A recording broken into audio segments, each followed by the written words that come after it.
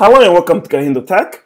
In this video, I'll show you how to get directions to your work location under Google Maps app.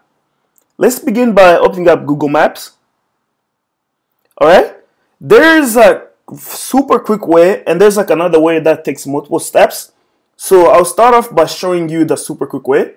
And in order for this for both of these ways to work, you must have already set up your default work address. So if you don't know how to do that, I've made a video on how to do that exactly. And that video should be in the address bar in the description below or in the very first comment. I'm pretty sure I've, I've left a link to that video showing you how to set up your default work address. Anyway, let's begin with the first way. It's the quickest way to show you, uh, to get directions to your work address.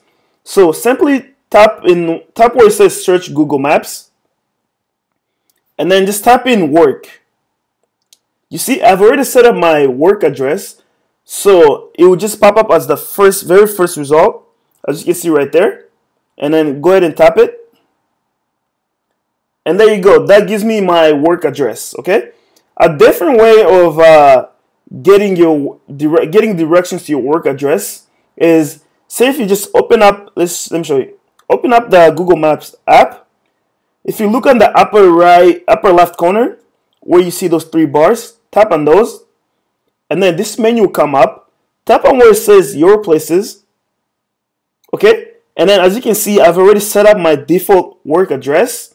And then to get directions to this uh, to this place, I can either click on the three bars and tap where it says directions, or I can simply just tap the the place that says work and this will give me directions to my work address. And I'll just uh, tap directions. And that gives me the, the direction to my work address. It's pretty simple and easy but if you have any other questions or comments please leave them in the comment section below. Otherwise uh, like this video if you like it and definitely subscribe to my channel for more videos like this. Thank you for watching